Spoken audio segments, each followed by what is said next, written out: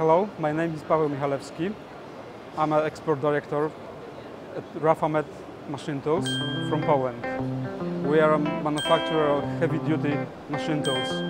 We are here in Hanover again to promote our vertical turning and boring mills. These are good products every customer can really rely on. Latest technology at very good price. Amongst our customers there are a lot of global players like General Electric, Alstom, Areva, Japan Steelworks. These machines are designed to uh, manufacture many different components of nuclear power plants, gas turbines and other large-sized workpieces used in different industries.